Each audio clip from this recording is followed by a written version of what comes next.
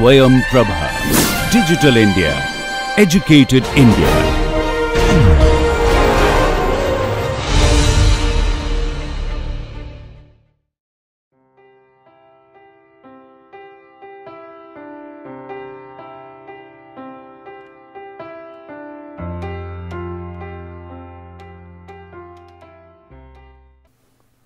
Welcome back to my course uh, aspects of biochemical engineering. Now, I was discussing about the kinetics of substrate utilization, product formation, biomass uh, production uh, using microorganism.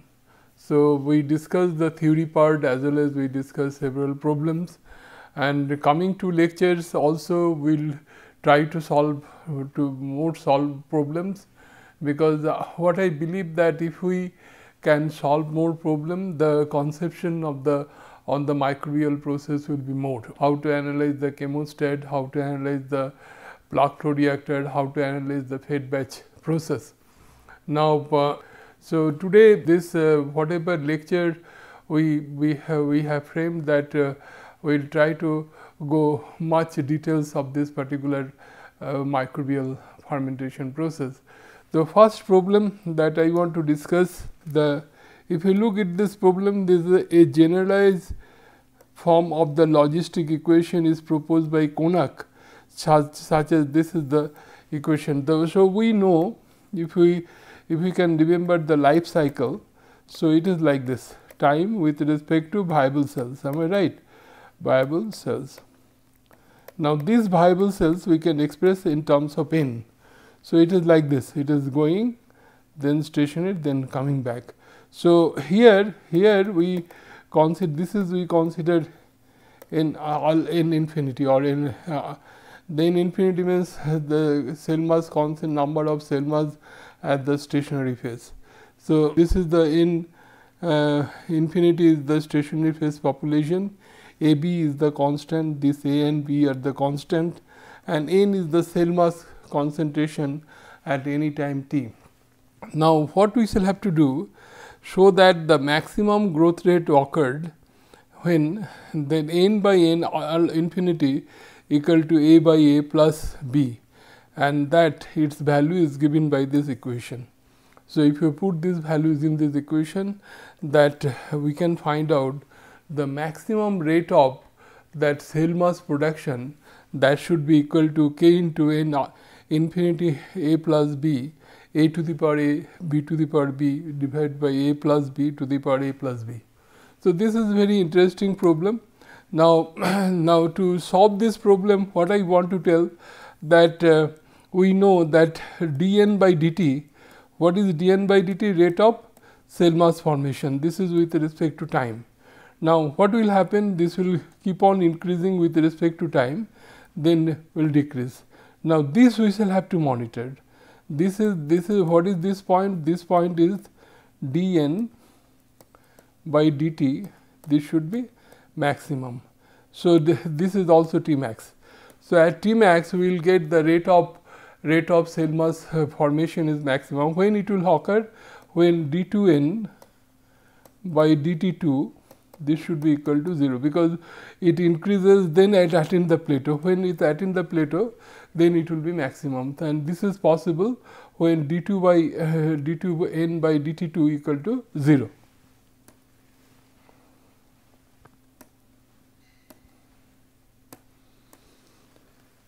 Now, this is the solution how we try to work out with this problem. If you look at here that uh, this is the problem that has been given.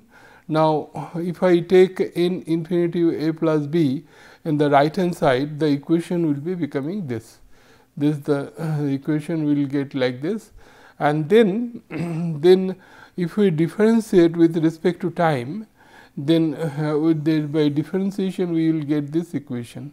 So, uh, and then after getting this equation, then we put these conditions uh, when dn by dt equal to max the dt2 by dt dt dtn dt2 n by dt2 this is some mistake is there you can correct it. This should be equal to 0 okay? So this i can i can i can explain you little bit to, uh, to you that you know that this uh, if you differentiate this uh, that you know that uh, this is n n n infinity this is constant am i right? But this is n is the variables and this is also variable. So, we differentiate with respect to these two term and when we differentiate with respect to time this will this will be this will come like this.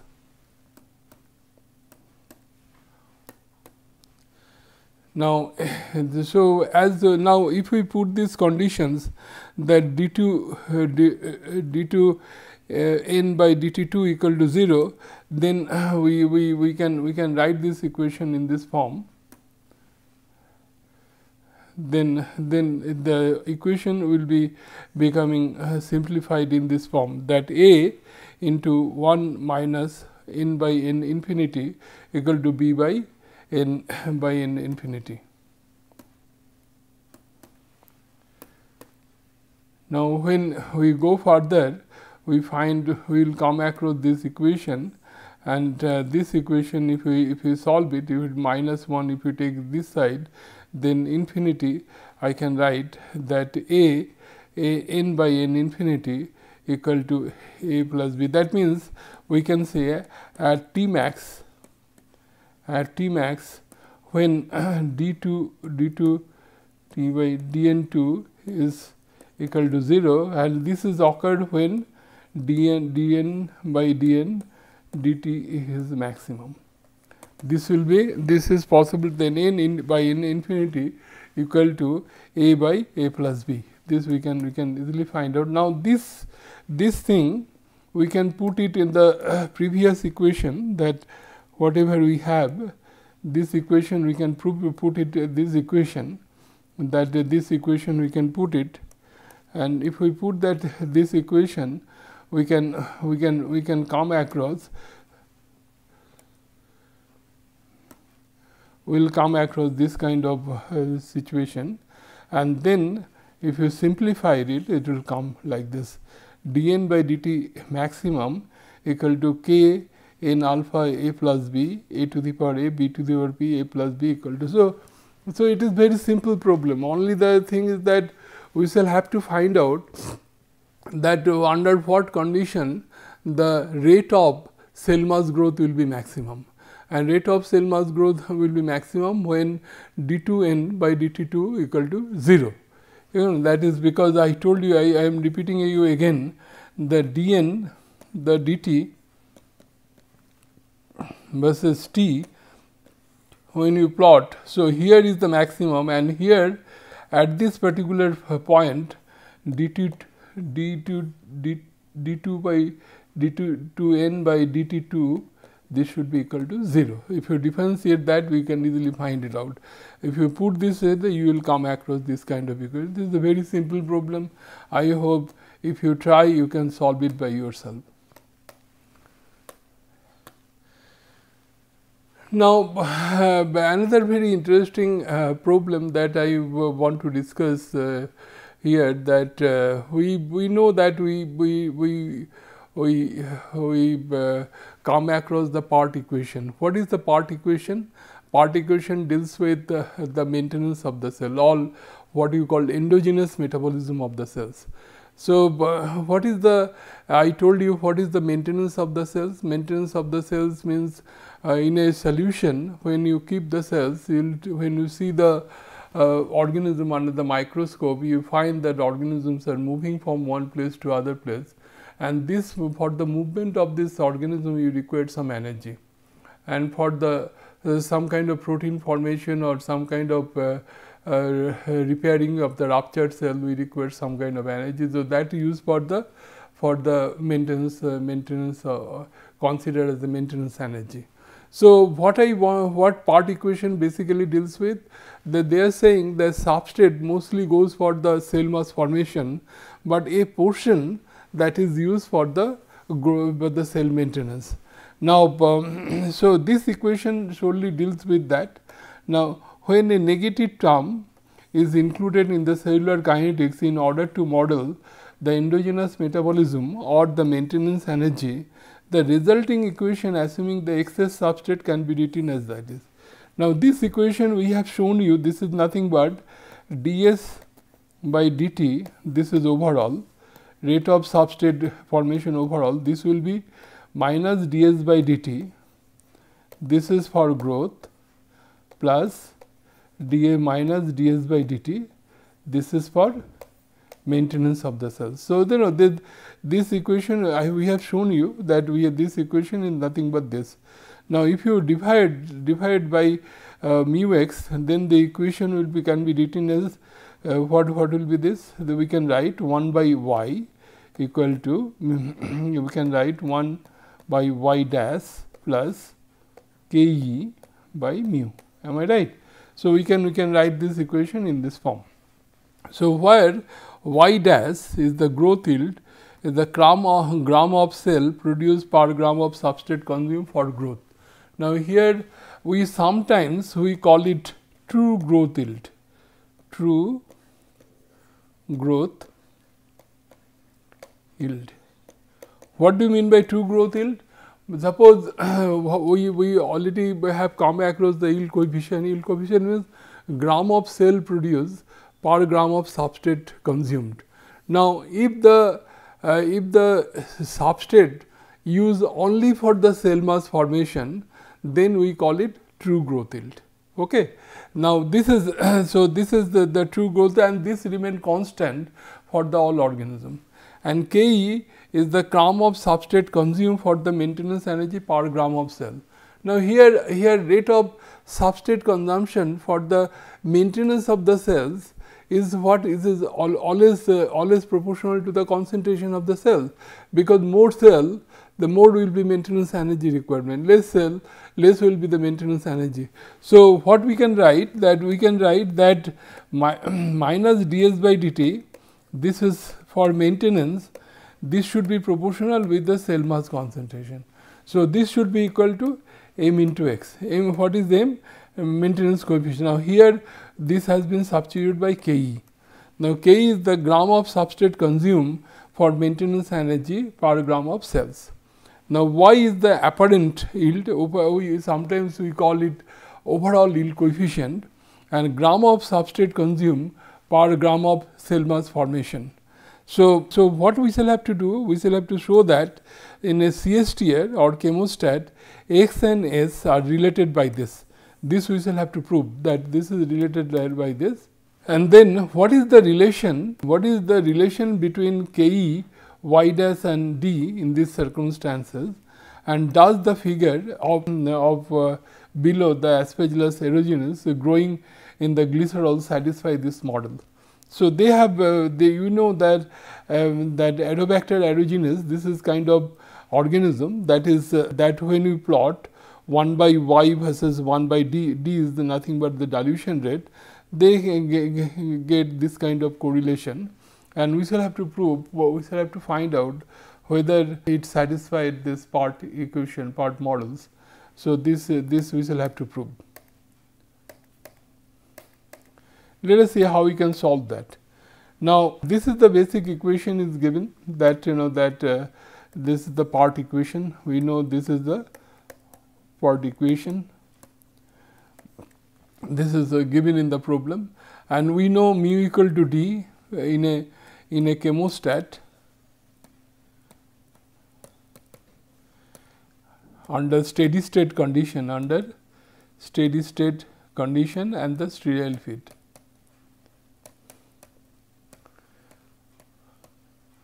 What is the steady state condition? Let me repeat it again that steady state condition means when the concentration of the different material present in the reactor remain unaltered, remain constant, steady with respect to concentration. When it is changed, this is un unsteady state. As for example, suppose you are putting the substrate in the reactor and if the substrate concentration keep on changing, what do you call it unsteady state.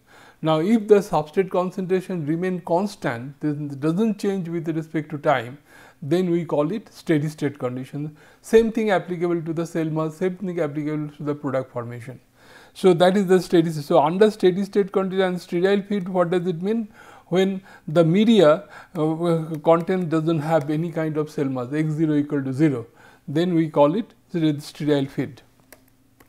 Now, here uh, this equation I can write like this that we, we can we can divide divide by x then we, we have this if you divide by x then we will be having the equation what mu by y equal to mu by y dash plus k e am I right and then d equal to mu. So, if you replace mu by d so we will get this equation and finally, we will come across this equation. So, what um, uh, the problem that we have this kind of equation then uh, what we know y y is the overall yield coefficient or average, average yield coefficient this is equal to x minus x 0 by s 0 minus s.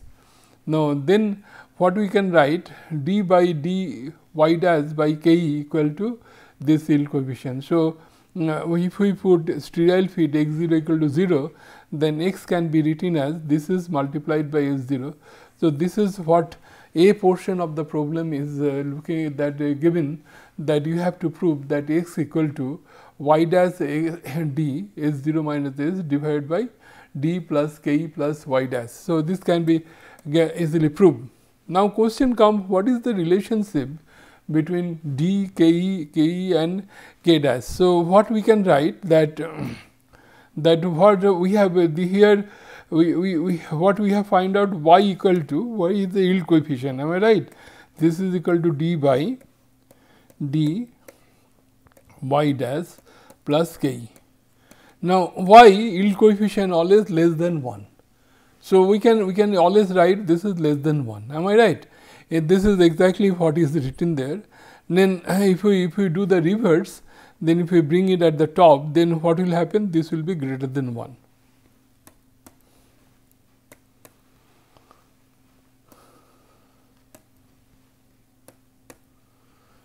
And then uh, we can have this relationship. As have this uh, this relationship that we have this is uh, that uh, 1 by e now this we can we can we can do this further simplified that uh, what we can write uh, this is d plus k e into y dash by y dash into d. Am i right?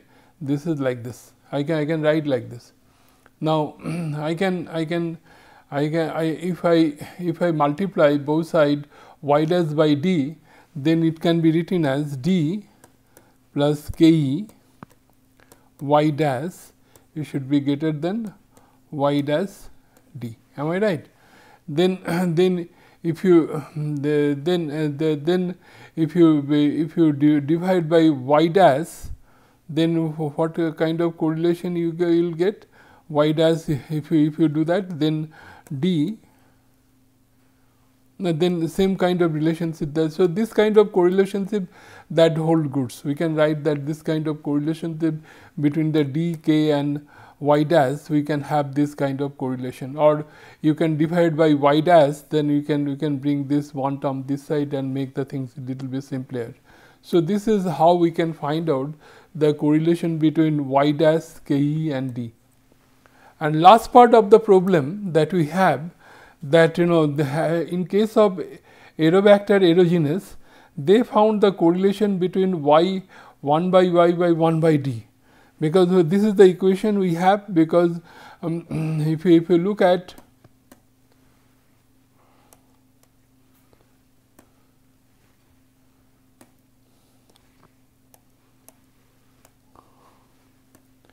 we have we had this equation am I right this is the equation we had.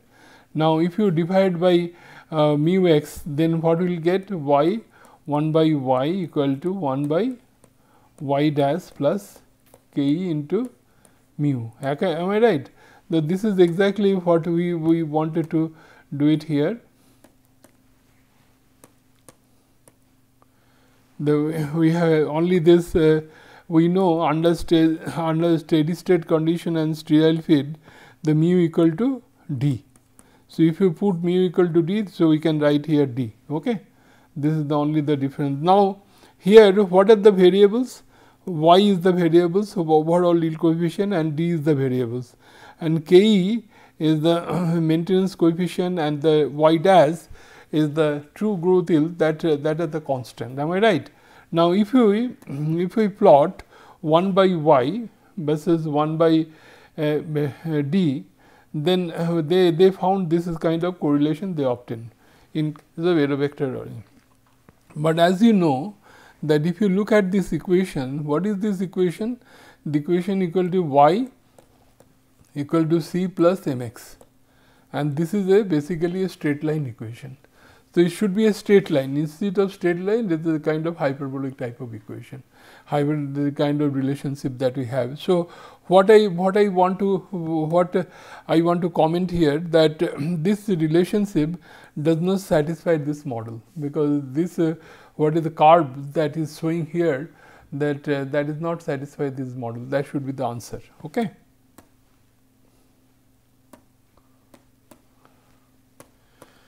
Now, let us uh, go to the uh, that another problem that is uh, also very interesting that uh, that a microbial because in in case of microbial fermentation process we we we have come across different type of inhibition.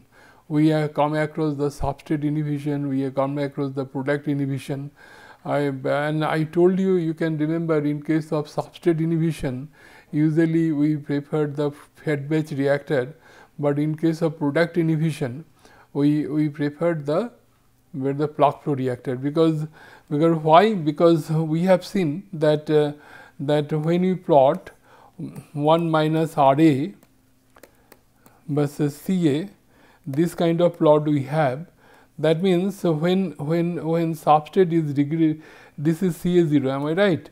And this is your C A. This is this might be your C A so, when its uh, substrate concentration decreases that 1 by R A increases that means R A decreases. Now, as the substrate concentration decreases why the rate of reaction decrease because mainly due to the product inhibition. And we have seen that in case of this if you have this kind of correlation we find the area under this curve this what is the area under this curve is tau plug flow reactor am I right. So, this is uh, much less as compared to uh, this is this what is this this is this is the area under this uh, this is uh, the rectangle what you call tau CSTR. So, tau CSTR will much higher as compared to tau flow reactor. So, we will we will prefer tau flow reactor am I right. So, in case of product inhibition we usually recommend flow reactor. Now, this uh, this particular problem deals with some kind of product inhibition and we shall have to develop some kind of equation out of that. Let us see how we can do that. In a microbial species is, is inhibited by the volatile uh, such as the ethanol. Uh, we know that a high ethanol concentration that you know growth rate of the organism that will be inhibited. Now, growth rate can be increased by the removal of the inhibiting um, product via continuous evacuation of the vapor, space above the fermenter. So, uh, what we can do that you know that if we applied vacuum, vacuum we know the the boiling point of ethanol is less as compared to that of water am I right. So, if we if we if we applied vacuum that even at the normal temperature that uh, alcohol will be vaporizes out. Now, if alcohol is vaporizes out then that product inhibition uh, due to certain concentration of ethanol can be overcome. Okay, that is exactly they have mentioned here. Now, for a batch fermentation process following equation there is there that mu equal to mu max S by K s plus S K p plus K p plus B and show that the time course of the substrate level the overall is this, this S equal to 0.3 p plus cell mass. And if, if S is like this, this kind of correlation if it holds good, then that uh, then the equation will be this uh, this equation. That equation will be this equation. This is uh, um, uh, the ds by dt equal to x 0 plus y x by x, x 0 minus x, y by x by s, mu x and s by k s and this the equation and k i is the kind of inhibition constant that we shall have to prove. This is the equation, this is the problem that we have. Now, let us see how we can solve it. Now, this is the stoichiometry is given. This is this the stoichiometry is like this S equal to substrate equal to the 0.3 p plus x, the x is the cell mass and this is the equation that is given. And we know ds by dt how we can write ds by dx and dx by dt. Am I right? And dx by ds is equal to yx by s that we can always this is called yield coefficient and uh, and dx by dt we can write mu into x is the rate of growth of the cells. Now, here uh, here that uh, so ds ds by dt what we can write that 1 by uh, 1 by this uh, this and this this thing I can substitute here that in in place of mu I can substitute into x this uh, we can get this uh, the two equation we can substitute we can get this equation. Now, y x by s is, uh, is uh, x, x minus x 0 by y 0 minus s am I right. So, x equal to what x equal to y x by s s 0 minus x. Now, if we put this in the uh, previous equation then this equation if we put it then uh, what will uh, what we will get we will we will come across this equation. ds by dt equal to uh, 1 by y x by s mu x s by k s plus s k p plus and this this x will be substituted by this. I can write like this. Now this this will cancel and this and and y p by s I how we can write? This is the gram of product formed per gram of substrate consumed. P minus p 0 uh, by S is 0 minus S. So, P equal to I can write y P by S is 0 minus S into plus P 0 am I right?